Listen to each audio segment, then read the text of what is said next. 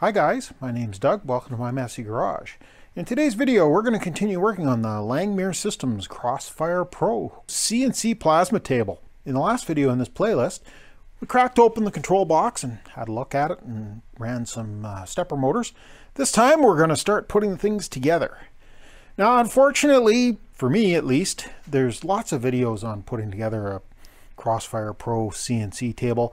I don't think I want to uh, record all of that in, uh, in great detail, creating a step-by-step -step tutorial. Definitely do a search on YouTube for some other videos on how to assemble a table. I'm sure there's lots of great ones out there. What I think I'm going to do is set up another camera, do a little bit of a time lapse while I put things together. And then once we get it together, I'll go through the final checkouts and uh, explain how it works. Thanks for watching and hopefully you enjoy this one.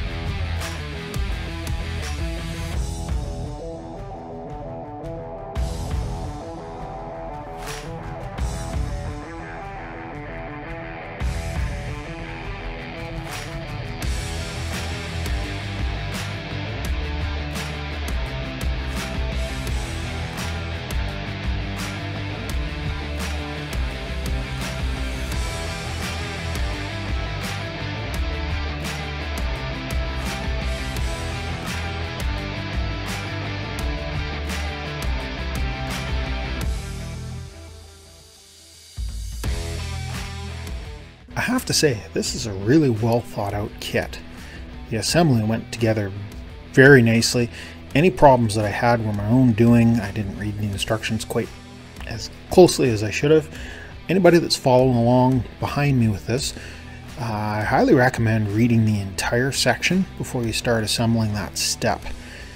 Quite often at the uh, in the last sentence they'll say something along the lines of don't tighten everything up and uh, or make sure that this is in this direction or that direction and you really need to know that before you start assembling. That's the only small complaint I have about how well this has gone together so far. Check back soon. We'll assemble the electronics on this thing, get it up and running, and uh, do the initial break-in.